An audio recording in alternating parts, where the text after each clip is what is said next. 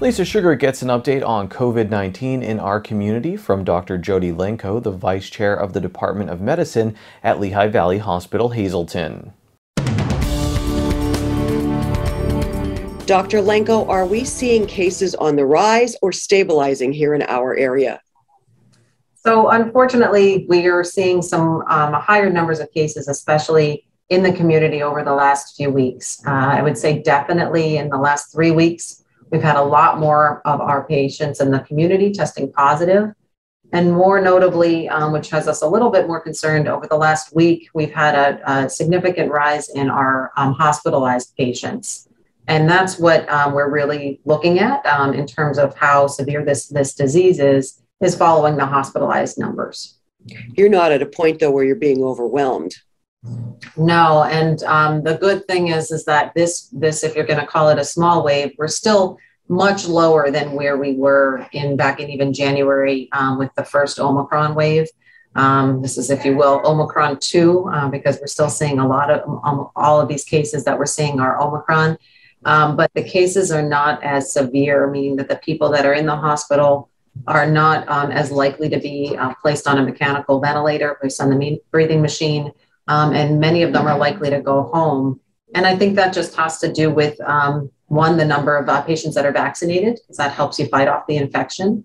Uh, and two, the other medicines that we have to treat the infection early on. So all those things in combination are helping keep um, the patients alive and and uh, getting them discharged from the hospital sooner. The patients that you are seeing are the majority of them vaccinated, or are they not vaccinated? Both, um, you know, the majority of our country, fortunately, is vaccinated. Although we still do have about thirty percent of the country that's not vaccinated. Um, so it's it's both. Um, you know, we're seeing both vaccinated and unvaccinated patients get COVID. It's all across the board right now, um, and unfortunately, we don't have as much data because a lot of the patients that were that are testing positive are doing home tests. So we don't that information doesn't get reported to us um, on, on, the, on, the, on the updates from the Department of Health. So it's a little hard to judge, um, but we've known in general that the majority of uh, the patients that are going to be go on to become severely ill are going to be the older individuals, uh, people with higher high risk medical conditions. Are people being reinfected? I'm hearing of people who say, "Oh, I've had it two times. I've had it three times." Uh, how is this possible? And is it just minimal when they do get it again? So yeah, it's interesting. There have been um, definite reports of patients. At least I've had a handful of patients in my own practice, at least uh, being infected twice. Um, not quite as many being infected three times, but it can happen. Um, it does decrease the chances if you are vaccinated of getting it again and again, uh, but it's not never 100%. It never will be. Um, so we are definitely seeing that. Um, and why it happens is uh, twofold. One, the, vac- uh, the, the virus uh, mutates, so it's not quite the same virus that they had the first time.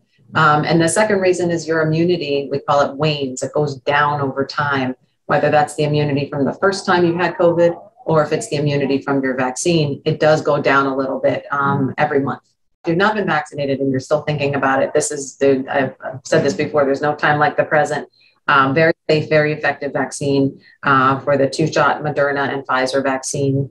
Um, and the more important thing, I think people are kind of um, have gotten away from thinking about their booster shots. I think it's an important time to uh, get your booster shot um, for especially that third shot if you haven't had that yet um, that has a, a, very significant improvement in the immunity that your body has. Um, and especially if you're um, over four, uh, four to six months from your third shot, you're eligible for a fourth shot.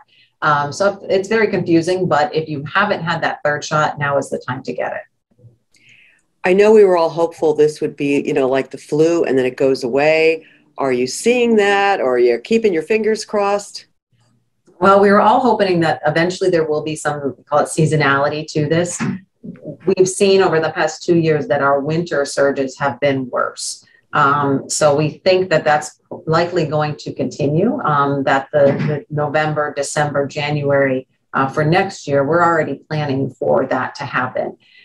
Other than that, it's a little hard to tell. Um, I think we're all kind of just rolling with it at this point and just doing what we can to uh, keep ourselves safe, to keep our staff safe, um, wearing masks um, and whenever we're indoors and doing everything we can to try to keep the numbers down as much as possible.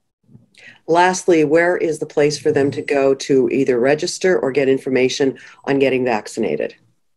So um, vaccines are readily available um, at almost all major pharmacies now. Um, you almost don't have to make an appointment at most places. Um, so they're available at any, any, major pharmacies with any of our, we still have uh, vaccine uh, uh, clinics at all of our healthcare facilities through Lehigh Valley. And going to lvhn.org um, backslash COVID 19, you'll have be able to get all of the information um, you need about vaccines, about testing, testing equipment, um, and about all the uh, antiviral medications that are available now, too.